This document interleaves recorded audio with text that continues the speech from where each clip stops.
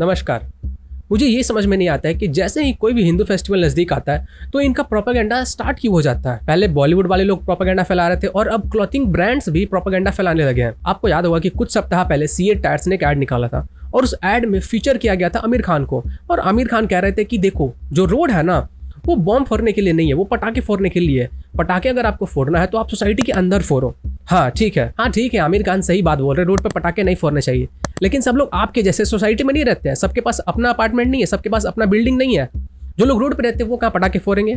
जो already road पर ही रहते हैं, वो कहाँ पटाखे फोड़ेंगे? और आपके हिसाब से रोड पटाखे फोड़ने के लिए नहीं है, लेकिन रोड नमाज़ पढ़ने के लिए ज़रूर है।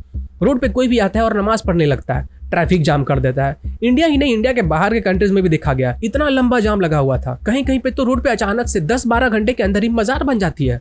मतलब रोड जो है ना, वो पटाखे फोड़ने के लिए नहीं है। उसके अलावा जितने भी काम है, आप वहाँ पे नमाज़ पढ़ सकते हो, आप वहाँ पे मजार खड़े कर सकते हो, रातों रात, ये सब कर सकते हो, लेकिन आप पटाखे नहीं फोड़ सकते हो, है ना? तो जितने भी भाई मेरा ये वीडियो देख रहे हैं, अगर उनके पास सोसाइटी का कंपाउंड नहीं है तो आप सब लोग आमिर खान के घर में जाना और उनके घर पे पटाखे आराम से फोड़ना, क्योंकि रोड पे पटाखे नहीं फोड़ सकते हो ना। जस्ट इमेजिन अगर सब लोगों के साथ साथ अब्दुल भी पटाखे फोड़ने, आमिर खान के घर चले जाए, उसके बाद क्या होगा? फिर तो आमिर खान को सच में हिंदुस्तान में डर लगने लगेगा। महबूब दे देखने कारण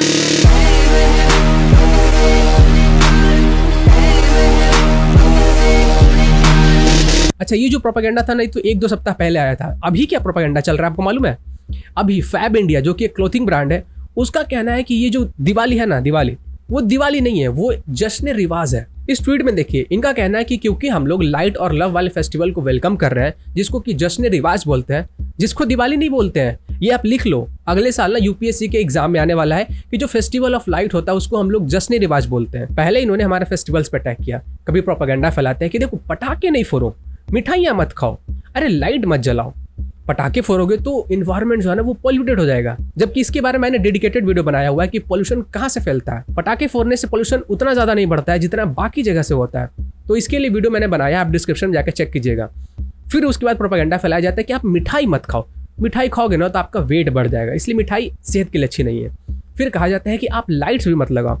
अपने घर के आसपास अगर आप लाइट्स लगाते हो सीरीज़ बल्ब जो होता है, वो लगाते हो तो जो इलेक्ट्रिसिटी है ना, वो ज़्यादा कंज्यूम होगा और आपको इलेक्ट्रिसिटी को सेव करना चाहिए।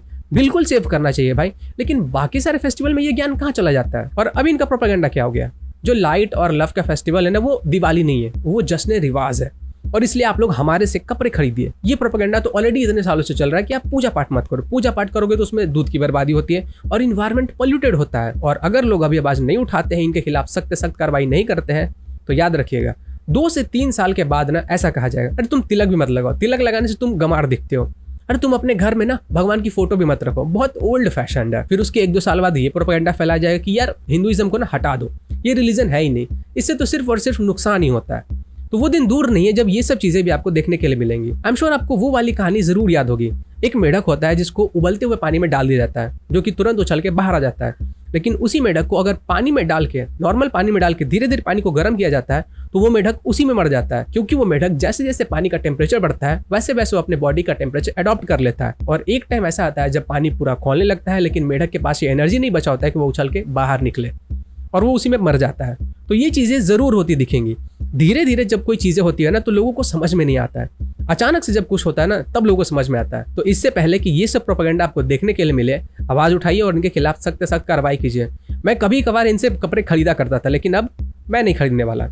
आप लोग अपना अपना देख लो, आप खरीदोगे इनसे कपड़े या नहीं खरीदोगे? ये लोग जश्न रिवाज कर रहे थे ना, मेरे तरफ़ से इनके लिए जश्न मिडिल फिंगर है। और ये जो डिफरेंट डिफरेंट क्रिकेटर्स हैं डिफरेंट डिफरेंट एक्टर एक्ट्रेसेस है, वो ज्ञान देने आ जाते हैं दिवाली के टाइम पे, अरे, पटाखे मत फोड़ो जो एनिमल्स है ना, उनको परेशानी होती है। हाँ भाई, परेशानी होती है, लेकिन ईद में जब उनको काटा जाता है, तब परेशानी नहीं होती है। तब उनको दुख दर्द नहीं होता है। तब आपके अंदर का जो एनिमल लवर है, वो कहाँ चला जाता है? ट्वेंटी ट्वेंटी खेलने या फिर मूवी शूट करने? तो ध्यान दीजिएगा, क्योंकि दिवाली नज़दीक आ रही है तो इस तरीके के ज्ञान देने वाले लोग बहुत सारे मिलेंगे। और बहुत सारे लोग अपने स्टेटस पे भी डालेंगे कि दिवाली में पटाखे मत फोड़ो, ये मत करो, वो मत करो। ऐसे ऐसे लोगों को ना व्हाट्सएप के अंदर घुस के दो तीन झापड़ लगाइएगा।